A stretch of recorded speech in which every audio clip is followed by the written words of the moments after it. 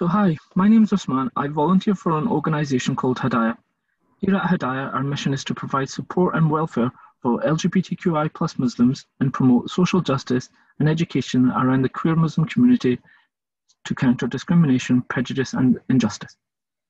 Today we are here with Asia, who is a volunteer with Hidayah and like many of us has more than one identity. So she is not only bisexual, but also a person of colour and Muslim. To begin with, um, Asia, could you please tell me a little bit about yourself, including your ethnic background, your cultural background, and even your age, if that's okay? Yeah, so I am a Pakistani Muslim and grew up in sort of a conservative but with a sprinkle of liberal um, Muslim household. And my I'm now 20 and I live I'm out of the house for university, so I like come home regularly. Great. Um, I can relate to you as well because I identify as uh, a gay Pakistani Muslim man as well. So, um, and I um, sort of I'm still at home and I'm uh, closeted about my sexuality. Are you open about your own sexuality with your family? Um, so I am to my sisters, who are very supportive and lovely, um, not to my parents because that's just a can of worms that I don't have the energy to open right now. No, that's fine. And um, so I'm just going to kind of move on to really having our discussion around being bisexual and Muslim and a person of colour. So, my first question to you is what contributed to helping you understand your sexuality? Um, so, it took a very long time because, well, complete lack of conversational representation of any kind meant that to to be absolutely honest until i was about 16 i didn't realize that lgbt muslims existed um, and so that was very confusing. Um, but then from around the age of 16, I actually spoke. I ended up speaking to a couple of closeted LGBT Muslims myself who had felt comfortable coming out to me um, because up until that point, I had been a very strong ally LGBT community. Um, and then I sort of started having my own reflections on my relationships with people in real life and then by towards the end of school i kind of through um, you know reading and watching things and doing my own self-reflection. Yeah figured out that i was bisexual.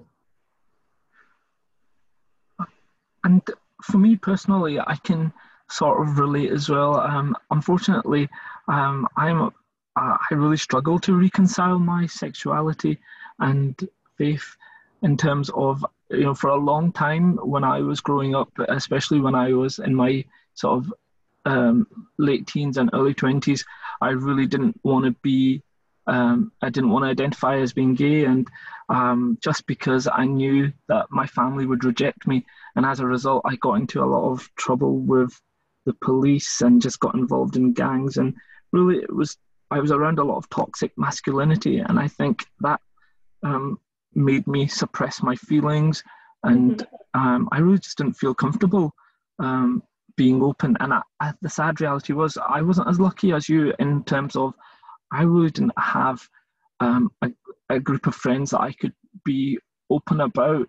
Um, mm-hmm. I grew up in the kind of uh, late 80s, early uh, 90s, and in that time, just generally being LGBTQI plus was just difficult for anybody. We didn't have any role models, and there wasn't anything on media, as such as television, mm-hmm. or and not in a positive light. So it was really difficult to be sort of um, to be gay and to be out as well.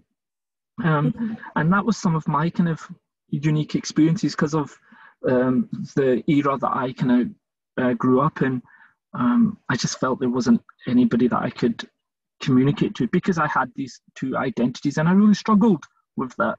And that was my kind of uh, unique experience. But um, my second question is what are some of the, your own unique experiences and challenges that you have faced as a bisexual person of colour? Um, so I guess the first big one was that it took a while to come to terms with the fact that I was okay with being bisexual in the sense that because obviously I was also attracted to men, it felt that it was just an easier route to ignore the other aspect of my sexuality because that would just make it easier to like live my life and continue. But obviously, that isn't how it works in the real world. Um, so, a big challenge was sort of coming to terms with fully um, how I navigated my sexuality, which is actually still something I'm doing. I'm definitely not finished that journey. Um, and sort of um, trying trying to justify my existence in my head and that um, you know I had as much of a valid place as the other pe- members of the LGBT community. Yeah, I mean, I, I can definitely relate to that as well. Um, you know, when I was in my 20s, I was in relationships with women, although I knew uh, deep down that I really wasn't bisexual. I was really just in these relationships just to try and conform to society. Um, and mm. this is what I think um, a lot of people in society struggle with. They think that people who are bisexual um, are confused and, uh, and uh, don't know their own feelings, which are kind of really ignorant comments like that. And for me, um, I, I have been told by friends and uh, uh, LGBTQI plus friends that have said, "Oh well, you must uh, you must be bisexual because you've had relationships with women in the past." I was married as well, so um, I was married for uh, two years, and however, I have I have never at any point felt bisexual. I have always mm. deep down known that I was gay, and the only reason I was in these relationships, and it's horrible to say this, but because I was hiding my sexuality. You know, mm-hmm. I um, I wasn't sexually attracted to women, and I am I, I still I'm not, but um, and I think this is what it's important to try and give people who are bisexual that voice. Um, in terms of um, sort of your experiences um, with just generally the, the, workplace, were you comfortable ever coming out in the workplace at all, uh, or at college or university? Um, so during school, I didn't at, really speak about it at all, mainly because I didn't know myself. Um, and I was very sort of academically driven. So I spent a lot of my time just like working and not doing anything else or thinking about anything else. Um, and so by the time I'd figured this all out towards the end of school, I was comfortable coming out to sort of my very close friends. Um, and then when I went to university, it was almost like a clean slate for me, um, where there wasn't anybody who had preconceptions of who I was or um, what I was doing with my life. Um, and so I, from the get go, was very open about who I was because, um, you know, I was living my new life in a different city. Um, and I had a very overwhelmingly positive reception from there and a lot of and I gained a lot of LGBT friends from university which has been really nice and they're a really great support network so I've personally been incredibly lucky that everybody that I have been open open to has been supportive well the majority not everybody but the majority I mean, that's really nice to hear because, you know, this is what we want. We want people within our communities to kind of accept who we are and recognize that we can have more than one identity.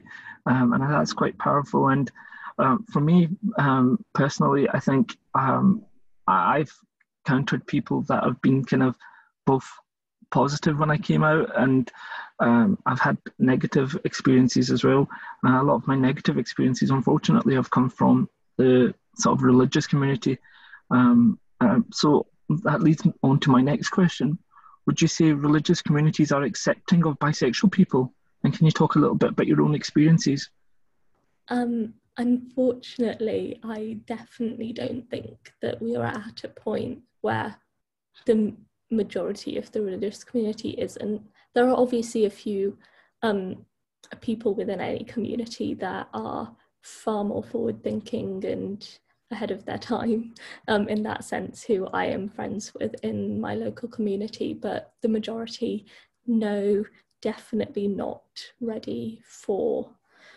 Well, no, I think they are ready and they have to be ready, but um, as in they are not accepting. And my own experience has been that, you know, up for a very, very long time, the concept of the LGBT community was never discussed. So it wasn't even that they were saying necessarily bad things about them. It was more that, like, I just, gen- I don't know how to describe it, but I just genuinely didn't know that they existed. Um, or, like, if they did, then everybody was white and American who was part of the LGBT community. Um, and then beyond that, when we did start having these conversations, especially after, um, because I um, am originally based in Birmingham, um, that's where the Anderton Park primary protest happened, um, which was the No Outsiders protest that protested LGBT material in um, sort of reception year one, their classes. Um, and that was the first time I ever had conversations with my family about the LGBT community, really, um, which were overwhelmingly negative. Um, and then, um, so it hasn't been a very good experience in that sense. And whenever my parents and the wider community do talk about them, it's always been negative. So I tend to just remove myself from those situations.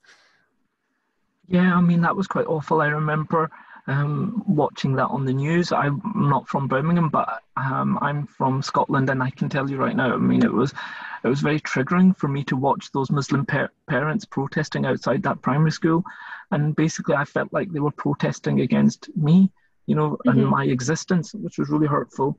Um, um, and uh, it's one of the reasons I'm still closeted because, for me personally, I don't really care what people think about me um, mm-hmm. as a gay Muslim man. But what I do care about is how people would treat my parents, my siblings. I wouldn't want anybody to attack my family because of who I am as a person. And I, I feel at this point, uh, the Muslim community still has a long way to go in terms of allowing people to be themselves and you know be more open about discussing sexuality, gender, mm-hmm. and relationships. Um, you did earlier on mention that you came out to your sisters. Um, how was that experience? If you don't mind, I obviously, if you don't feel comfortable talking about it, it's quite a personal account. Um, you don't need to talk about it, but um, I, I, am really interested to see. Uh, you mentioned it was uh, they they've been quite positive.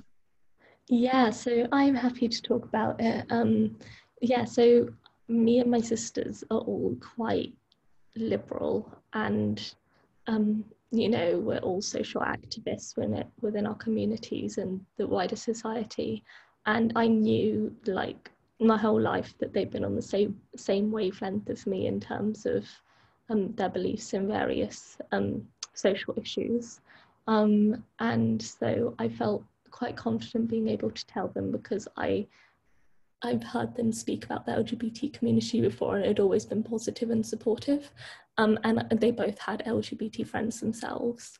Um, and so I came out to them and they were both at different times and they were both, you know, supportive. Having said that, though, they are they have been supportive and they are still in that sense. But I think that they have also played into this idea that because I came out as bisexual, it's very easy for me to just marry a man and then it won't be an issue for our family. Um, and they have said that at times through you know, good with good intentions, but it has come for me. It's personally been quite hurtful um, because you know it makes me feel like I have to choose or I have to narrow down who I am as a person in order to keep the peace in the family or conform to a certain way. Um, so that has been more difficult to process because I can see where they're coming from in terms of their intentions. And I have tried saying it to them before, but we don't really talk about it that much. So that's been a bit difficult. But, you know, you take what you can get. Yeah, I mean, I can relate to you in that sense as well. Um, I'm from, as I mentioned, I'm from a kind of older generation, and for me, I'm not out to any of my siblings just because the fear of, you know, rejection. The sad reality is, um, you know, um, my siblings are in their kind of late forties, and they've got married and they've got children, and sometimes I can. Um, I, I've heard them say, "Oh, I have a gay friend," or "My friend's bisexual," However, I, I, it's not something that I want my children to be around that kind of and that that kind of attitude that they have, and it's it's more of an attitude of ignorance because they really don't know anything about the community and society in general. People live in their own little bubble and aren't op- as open to hear other people's stories and personal journeys. Mm-hmm. Um, and I think that's something that us here at Hidayah, and especially you with all the good work you do with our social media team, you know, you're constantly um, promoting the raising the awareness of LGBTQI plus Muslim. It's so important because really there isn't anybody else doing that. You don't see um, mm-hmm. representation that well. Um, so it's really important that we kind of reach out to the Muslim community and have these conversations. Um, and that's some of the stuff that we do with Hidayah is that we um, do panel talks, we do events, and try and raise awareness, and then also provide a service to our own, you know, members um, because we, we do struggle sometimes because um, we struggle at home with our families, but then we have to struggle within the like, queer community as well. Um, mm. And um, my next kind of question goes on a little bit about, more about the Muslim community, and it's around um, in the cis hetero Muslim community. I've heard people make comments such as bisexual people are confused. Um, have you, as a bisexual person, come across any ignorant comments like these in person or online? And how do you challenge these kind of attitudes? So I would say that I've never come across them in person just because, to be honest, I'm I'm not really out to many Muslims other than my sisters and people at Hidayah. I don't tend to, and one other person in my community. Um, so so I'm not really out to many Muslims. And at university, all of the friends that I make are just because of the lack of correlation between Muslims who are out and um, the kind the people that I try to stick with at university just because they're more accepting that doesn't tend to overlap that much. So um, I haven't come across it in person and I'm not that vocal online about my sexuality just because in case my parents happen to stumble upon it one day. But I have definitely seen it come. I have still had those comments, not necessarily from Muslims, but generally from the cis hetero community. Um, I think that there's a lot of conversations that need to be had so that bisexual people can feel more comfortable in that identity because the problem is that because there is so much heteronormativity in our society, it means that a lot of people have internalized homophobia, and that might mean, like, as your own experiences, it might mean that they, um, for their own safety, try to justify that they're bisexual in that sense, and then that obviously um, uh, makes it more complex to have a conversation about the bisexual community because a lot of people are battling internalized homophobia. And so then if they do come out as gay, which is obviously completely fine, everybody's on their own journey, that seems to justify to homophobic people that bisexual people are confused when really it's us having to tackle a wider so- societal issue of you know compulsory heterosexuality and um, and trying to conform to being straight um, and until we do that, once we have done that, then the bisexual community will have a lot more power on their side to justify their existence. Um, I, I totally agree with you. I think that's so important. I mean, I have, I have to be honest with you. Some of the comments I've heard from just generally uh, people in the Muslim community, in terms of just um, the queer Muslim community, I've heard some kind of uh, ignorant comments. I've heard people uh, just not validate bisexual people, and even in the queer community, forget the Muslim community. I think there's a lot of work needed within mm-hmm. our own sort of LGBTQI plus community. I think mm-hmm. um, for years and years, it's always been, I hate to say this, but gay cis white men that have mm-hmm. kind of been the main focus on media and news and magazines and you just haven't had that role models um, i think the first time i came across a, a muslim bisexual person was when i ha- had heard about uh, hafsa qureshi who mm-hmm. um, i think she works for stonewall and she's a stonewall advocate yeah. Um, and um, that was really powerful for me because for the first time on mainstream media I had actually met someone who not only identified as Muslim, um, as clearly visibly Muslim as well, but she wore a headscarf, but also identified as bisexual, and that was really powerful for me. Um, and she was out there, you know, giving a voice to all these people, and um, I think uh, I, I, felt really proud. I felt um, for the first time I felt recognition, and that was sort of in my thirties, late thirties that that happened, and it's quite scary to think that there's so many people who are of my age who haven't had that kind of role model there to speak mm-hmm. out for us and who have just kept our feelings internalized. Um, yeah. It's important to have these kind of people. Have you met Hafsa Qureshi at all? I've not met her sadly, but I do. I follow her on social media. I think she's absolutely fabulous. I would love to meet her one day and just have a chat. But yeah, yeah, she has contacted Hidayah, and I think it's something that we should definitely think about, um, kind of linking in with her about her own experiences. I think she's so busy with the work that she does with Stonewall. She's kind of all over the the UK doing different work, and she'll probably even be mega busy this month, especially because we're um, celebrating um, bi visibility. Um, mm-hmm. And she's definitely uh, a, a, person that um, kind of relates to ourselves. Um, so my next question is around um, what role, if any, do you think education can play in helping address biphobic discrimination? So I think that firstly, more representation, the fact that they exist, um, would be a great step um, because often in mainstream media, they're not really spoken about as um, they're kind of often a side note or like a footnote to the wider conversation.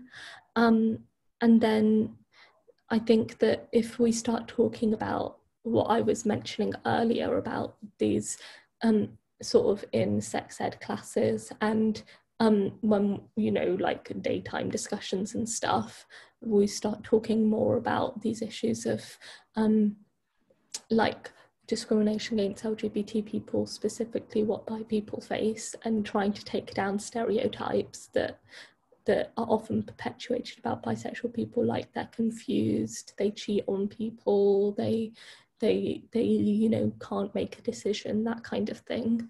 Um, then I think that would go a long way in validating our existence and also you know decrease discrimination. I totally agree with that. Um, I mean, I grew up with no sort of um, relationship or sex education at school. Um, I remember we got maybe an hour in a biology class about anatomy and reproduction, and that was it. And it was really, I think, important that, especially young people, get this type of education around relationships, around gender identity, because it will allow people to you know not internalize feelings that they have and um, and I, like I said at the start, I really, really did struggle, and I didn't. I actually always felt there was something wrong with me. I, I sometimes look back and think if I, if only I had sex education or relationship education, that maybe I'd be a different person. Maybe I wouldn't have gone down the, the, the kind of toxic route I went down, which was, you know, uh, being very internalized homophobia, and not accepting myself and um, getting married. And I mean, I, I think I spent a long, long time, a good few years of my life just not being myself. And mm-hmm. that's really hard work. Having to live two separate lives generally is difficult. I know you you can appreciate what where I'm coming from. Just mm-hmm. having to hide that big part of your life. Um, um, I've I'm in a healthy relationship just now, but sadly, my family don't know anything about it.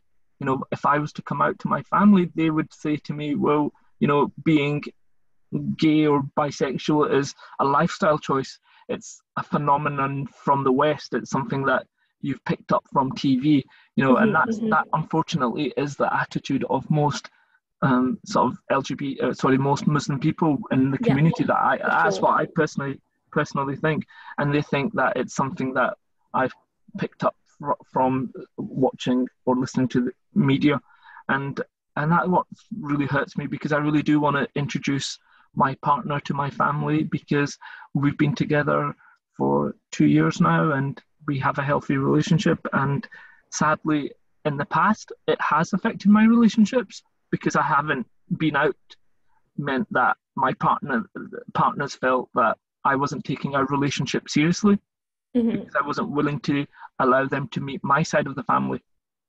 I was always able to meet them, and then when we're out and about, I wasn't really um, showing affection in public just because um, I didn't feel comfortable with my sexuality.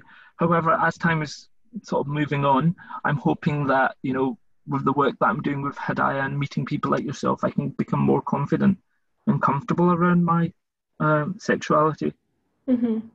And that's why I think it's really important that we do educate people because I think the younger generations can then educate their parents and their grandparents and talk to them and break any stigmas and taboos around sexuality. That's well, that's the the dream. Yeah. Well, I actually I've been sort of trying to do some subliminal um convincing of my parents um that you know to be more accepted the LGBT community. And one technique I've taken up is so me and my mum watch a show together um, where there is they have quite good LGBT representation.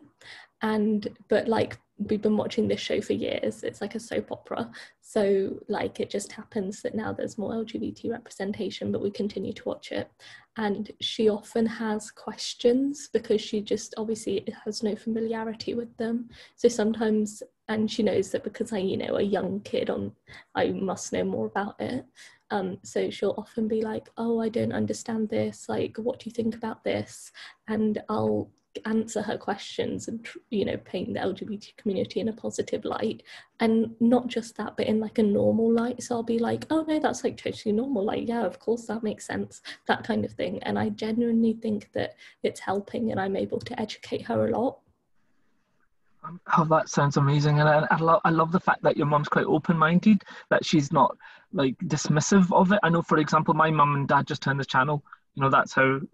Mm-hmm. It's definitely been a journey. It started off with just turning the channel on. For my dad, still he just kind of leaves the room, but my mum is a so becoming a lot yeah. more comfortable. Yeah, and I, I think that's important as well. That you know, um, we also appreciate from our family side. So, for example, my parents are first generation migrants. They they are they were born in another country with a different lifestyle, with different values from what are my values and how I grew up. And I have to respect that that they they I have a, a sort of a privilege that they never had, and they mm-hmm. didn't have the country that they grew up in didn't have freedom of speech, and it was you were persecuted for being LGBT um, so I understand why they have these negative views because that's what they were brought up with. And it's about breaking down these barriers and these sort of attitudes that people have. It's so important. And what do you think are um, some of the biggest challenges faced by the bi community, um, especially by people of colour? What would you say are some, some of the challenges that you've faced? Um, so I suppose uh, things that I've touched on earlier. So, um, you know, reconciling. I think something I haven't really spoken to, about is reconciling my faith and my sexuality in the sense that, um, so I'm not, I am, for a lot of my life, obviously, I attended Islamic studies classes. I've read the whole of the Quran. Like, I had a very religious upbringing in that sense that, and like, to this day, you know, I will, Ramadan, Eid, all of these things, I will fully be involved in um, as part of my community. Um, but I am not practicing in a daily sense. So I don't yep. pray five times a day, etc. Um, and but a lot of the cultural values of growing up Muslim have stuck with me. So when I went to university, I didn't drink at all. Um, and now it's kind of at a point that I don't think I ever would. Um, but I, rem- I know that when I went to uni and I didn't drink, often it would lead to a conversation where I would be telling people that it's because I'm Muslim. Um, and then, sort of in the same next few sentences, they would find out that I'm bisexual. And often they would, I think they would never say anything, but you could just see sort of like the mental Olympics going on in their head to try and recon- reconcile those two facts. Um, so I think there's a lot more that needs to be done, sort of in letting other people know we exist because obviously outside of the Muslim community, there's the rest of society relies on our representation to know that we exist or stumbling into somebody, which is rare, sadly. Um, so it, it is difficult because you almost become a spokesperson for the entire community and your experiences, which I don't mind, and especially sort of in this environment where like the specific task and organization is about that that's what i want to do. But you know when it it's a casual conversation in a pub and i'm just trying to get to know people it can sometimes just be tiring to suddenly be asked questions and become a spokesperson for an entire community of people yeah, I can totally relate to that. I've been in a few sort of gay bars around sweaty gay men in the middle of a dance floor and having to explain my religion and sexuality and how I reconcile them, which is kind of you think to yourself, this is really an odd time to be doing having this discussion, you know, mm. with someone who's maybe a little bit too drunk.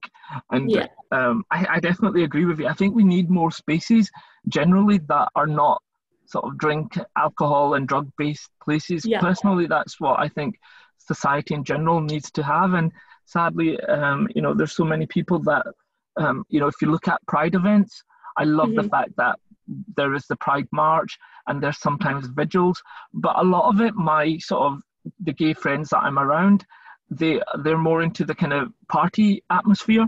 So yeah. they want to go drinking, they want to go, they want to partake in you know, um, taking drugs and uh, stuff like that. This is something that people don't like talking about. However, for me, that's really difficult because when I go out with a group of gay men uh, who are not Muslim, uh, who are not people of color, it's difficult because um, um, I have to rely on a group of people when I'm going out. Because if I if I've ever been out myself um, mm. in a gay bar or a gay community, I, I usually get stopped right at the front door. People mm. are like, you know what? Uh, are you here? Are you uh, are you in the right place? Do you know this is a gay venue? And then I have to explain myself and say, yes, I am gay. And um, and then when I, um, uh, it's difficult to interact with people when you get past the the door doorman or doorwoman. You know, it's um, it's that kind of whole idea. And I never, I've similar to yourself, I've never really, um, uh, I follow sort of I am a practicing Muslim in terms of I do pray five times a day, and so uh, I don't uh, partake in drinking alcohol, and I find that I really struggle to go to find venues where I can mm-hmm. be myself and not um, um, need to have to be around people who are drunk. And sometimes in these these are the kind of environments that I've come across discrimination, and that could mm-hmm. be in terms of racism, but I've also experienced um, people being biphobic, transphobic, um, and it's horrible when it comes from the LGBT community because you know you, th- you expect them to be more supportive and more accepting of each other because mm-hmm. we've all felt that discrimination at some point. However, you have to remember people are people. You know they all have incon- unconscious biases. So yeah, I think it's important that you know these are some of the challenges that we talk about, and maybe we could highlight ways that we can improve this uh, situation by having more safe spaces and that's mm-hmm. what Hidayah tries to do. We, you know, we try and organize. At the moment, because of COVID, we haven't been able to organize physical social meetups. We were going doing more online events. However, in the future, I am looking forward to just being able to go to places like coffee shops or LGBTQI plus mm-hmm. bookshops, and you know, museums that promote queer identities, etc. I think that's so needed right now, um, mm-hmm. and I'm hoping that you know we can have these spaces. Um, now, my next question is really around online spaces. I've, we've just talked about kind of physical spaces. Do you take advantage of any sort of apps or social support networks? Um, in fact, is there any bi apps? I know, for uh, for example, as a gay man, you've got hundreds of uh, dating apps and um, online platforms that you can link in with, but I've actually don't think I've ever come across any bi, and that's just my ignorance. But I've never come across any apps for bi people like networking and dating online, etc. Um, so I haven't really found any online spaces that are specifically for bi people, and especially with dating apps, there's there's there is an op- there's never really an option for bisexual people. It's either uh, there's I think there's one dating app that has it, but then the rest are sort of um, either or. And I remember, and you do get a lot of bi erasure in online spaces where they just kind of forget to acknowledge that we exist. Um, I remember once, a couple of months ago, there was sort of this online quiz that everybody, not quiz, it was like an online like test, not test either, that's the wrong word. It was sort of to do with like um, dating and stuff that a lot of people were taking. And I sort of did it as well. And but the first question was, "What's your sexuality?" And there wasn't an option for bisexual people, so oh, I, I can imagine that doing it because I was I mean, like, "Well, I can't click anything." But um, yeah, so that has been tricky, and especially like on dating apps, there'll be a there'll be it'll be very difficult because sometimes you'll come across women who say that they're only looking for gay women um, and they're not interested in dating bisexual people. And then for and then sometimes you'll find if you there'll be men who are only there to you know fetishize bisexual women. And so it's really difficult to see who actually has good intentions and actually wants to get to know you as a person as opposed to just dismiss your existence or you know um, take advantage of you. Yeah i actually honestly think that's down to representation. And i think that's down to you know not having enough bi visibility. And i think that's where that boils down to that people do kind of sadly treat the bi community in that way, um, which actually leads on to my next question. Do you think there is enough positive bi representation on TV and media? And is the community represented in the right way? Or does it play to cis hetero fantasies? Yes, so I don't think that there is enough representation, full stop, let alone positive representation. The either it's what happens is in a show that somebody will come out as bisexual, but then that won't actually be there. Um, then they'll sort of leave that identity or not mention it again. Um, and then for a lot of it, even if they do happen to be bisexual, they'll be um, sort of labelled as gay or lesbian. Um, or um, the bisexual person is plays into all of the stereotypes, which is incredibly frustrating. So, the one bisexual character that I can think of, I think this is the only one that I can think of from the top of my head, is um, a character in Neighbours, um, which is the show that I watch with my mum every day.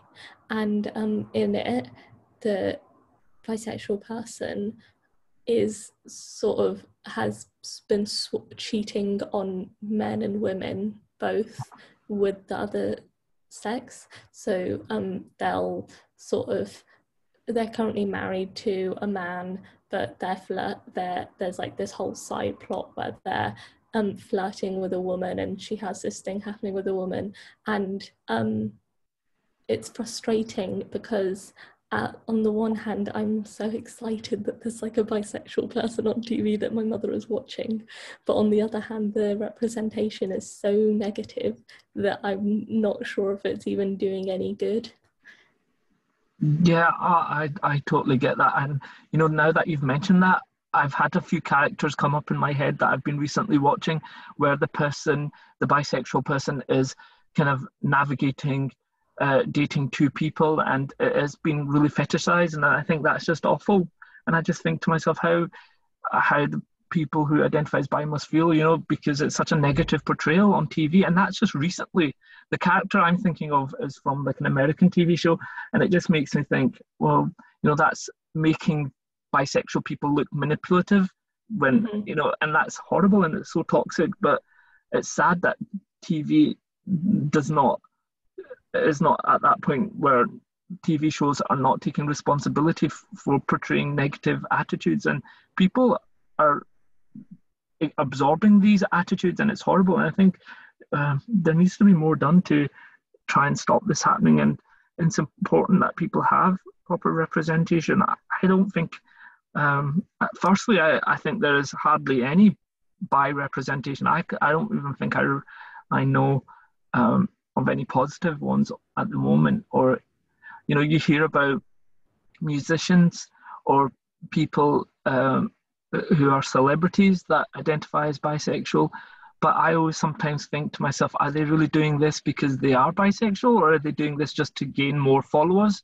And mm-hmm. that's what kind of scares me a little bit that, you know, it's it's similar to um, the commercialization of the pride flag. Mm-hmm. You know, you see like lots of supermarkets, uh, supermarket chains and businesses now all of a sudden in June and August putting out a pride flag outside their business. And but yet you think to yourself, are they really as inclusive as they make out? Do I really feel safe going into that venue just because there's a pride flag hanging outside it? Um, mm-hmm. I probably would feel more um, safer going in if it had, say, for example, the bi flag or the trans flag. If that mm-hmm. was out a venue, I'd feel more confident because I thought, okay, well, they're going out their way to um, kind of give a, a specific uh, community you know there so I, I, like that idea of the fact that mm-hmm. we do have different flags but when it comes to the pride flag now i think it's just been commercialized too much. Uh, that's yeah. my that's my opinion sadly. Um, and I, th- I think you're right in terms of media portrayal. We really do need more people visible. It's crazy to think that there's so much gay representation yet in terms of bisexual people. There's hardly any and yet i think i'm not even sure what the statistics are around people, um, how many people are bisexual in terms of uh, statistics and stuff, but that definitely not having positive role models on TV and media and um, will probably not help people come to terms with who they are. You know, they don't want to be seen as that negative person on TV. Um, mm-hmm. Now, just generally, we, I think we've t- talked about this question before, but um, can you tell me about your experiences um, of being in the bi community, have they improved or got worse as a person of color? So this is kind of more touching upon, you know, um, the last few years. There's been a lot going on, especially with COVID, Black Lives Matter, um, and do you think the bi community are kind of standing up for other marginalized communities? Um, to be honest, it's difficult to say because um, there is very few spaces that are sort of collections of bi people uh, to begin with. And then on top of that, because of the lack of representation, it's difficult for us to sort of form a cohesive movement. Um, and in my from in my personal experience, um, I don't think that it's improved or got worse, to be honest. I think it's very much our representation, our involvement in various things, and um, you know, our um, how we are seen by other groups has largely just plateaued and has stayed the same. I haven't seen really any improvements or sort of negativity, increased negativity. It's more just plateaued. I don't know how else to describe it. Yeah, I I would like to see more people, you know, uh, show up and represent. You know, I just don't see enough bisexual people standing up and saying, look, um, you know, this is my identity. This is, you know, I think we need as a collective, it's not just the onus shouldn't just be on bisexual people. I think it should be on different communities around uh, society that should be reaching out and saying, yeah, you know what? Why is there no bi representation here? Why is there um, no bisexual person at the table? And if they're not at the table, we should have them at the table and find someone to represent. Um, mm-hmm. And but not only that, but actually have their voice heard. I, f- I sometimes find that they get their voices get diluted amongst the kind of other um, dominant kind of communities out there, and it's it's sad to hear, but um, it's something I'm hoping that we can work on, and that really leads on to kind of my final question, which is around what can the queer community do to support the bi community. I mean, I talked a little bit about you know um, having representation at events and meetings, but is there any advice that you could give me, you know, as a, uh, a cis gay man?